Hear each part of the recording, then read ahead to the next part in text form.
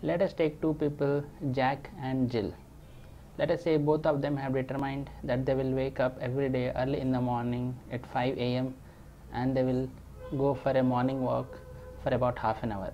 So this is what both of them have decided individually and independently. So next day Jack and Jill both of them went for half an hour walk. Every, day they were doing the same. But one day the weather was not good outside it was very cold. So Jack decided that because it is very cold he did not go outside. Whereas Jill because he was determined he went for a morning walk. So likewise the next day also the weather was not good. So Jack restrained himself from going for a morning walk. Whereas Jill again he went in spite of weather being bad.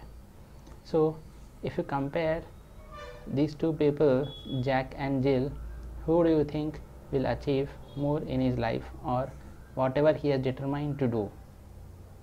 Of course Jill will achieve more and because he is determined to do irrespective of the circumstances. Whereas Jack only when the conditions are favorable to him he will do the things accordingly.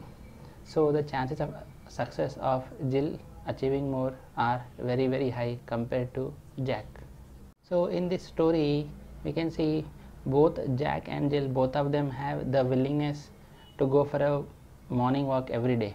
But it is Jill who is more determined and who is actually acting on his willingness rather than depending on the circumstances. Whereas Jack is also willing to do but then depending on the circumstances he sometimes stopping himself or restraining himself from doing those things so what so what I want to convey is so willingness enough is not sufficient whereas we must be able to act on it every day. There was a great quote said by Bruce Lee who is a famous martial artist. He said that knowing is not enough we must act. Willingness is not enough we must do. So it is the willingness and followed by the appropriate actions that determines whether you will remain as an aspirant or you will become an achiever in life.